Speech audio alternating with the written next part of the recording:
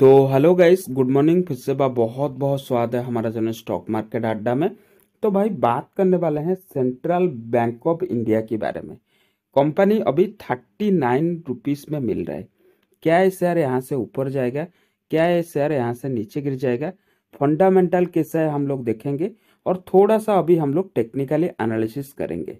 तो कंपनी यहाँ पर दोस्तों बुलिस मोमेंटम दिखा रहा है।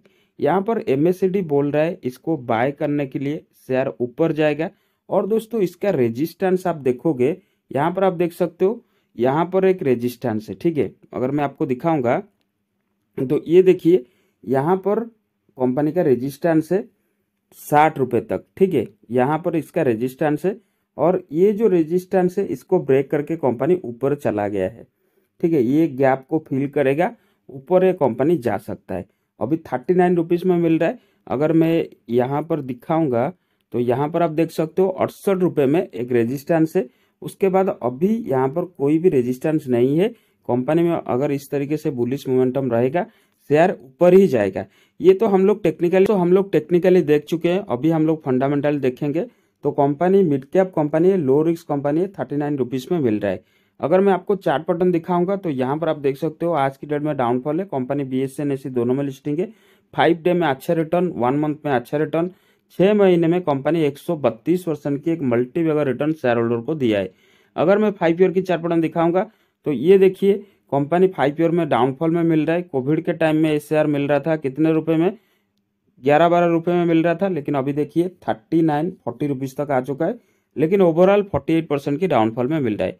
अगर मैं मैक्सिमम चार्ट पैटर्न दिखाऊँगा 200 इसका एक बड़ा रेजिस्टेंस है, और ये लेवल भी इसका एक बड़ा रेजिस्टेंस है, इसको ब्रेक करके ऊपर जाता है, और भी ऊपर जा सकता है।